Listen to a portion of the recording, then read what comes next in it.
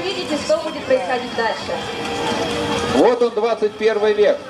Здесь на поле можно встретить и современную технику, и лошади, которые прошли не одно столетие, были лучшими помощниками людей. Причем не только в Америке, но и, конечно, у нас, в России.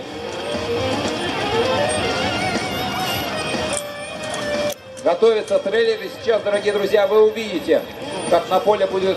О, выпустили сразу двух бычков? Нет, даже трех! Вот это да!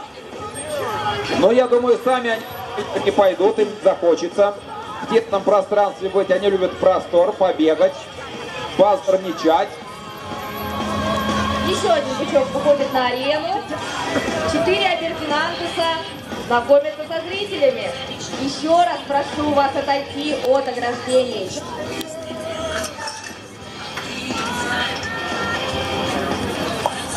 Дорогие друзья, несмотря на то, что бычки кажутся очень милыми и хочется...